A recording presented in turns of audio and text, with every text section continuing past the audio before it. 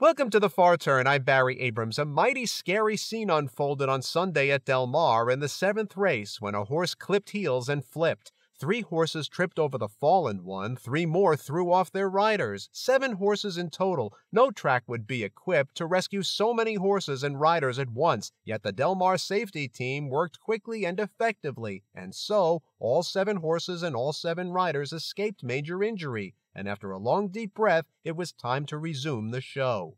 This incident didn't warrant any national media attention, nor did PETA congratulate Del Mar for what they did. But if any horses had perished, I'm sure you'd hear a lot about it, with hands a ringin' and many a rolled eyelid.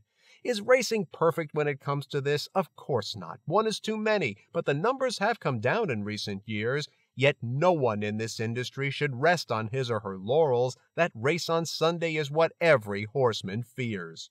Have a good day, everybody. We'll see you tomorrow.